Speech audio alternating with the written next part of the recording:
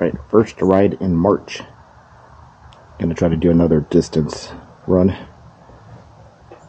Probably closer to 20 miles again, if possible. Charged up 100%. Broke 321 miles. Alright, there's supposed to be some kind of food fest, bounce fest down by Horizons West. So I'll cut through a bunch of neighborhoods. Chill ride.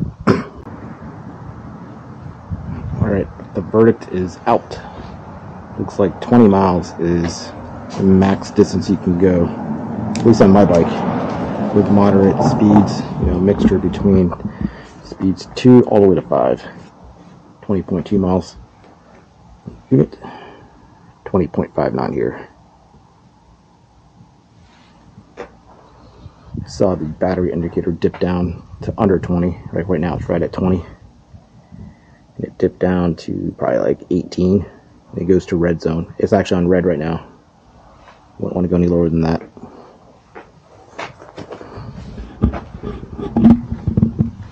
I think the brakes are handling handling pretty good today.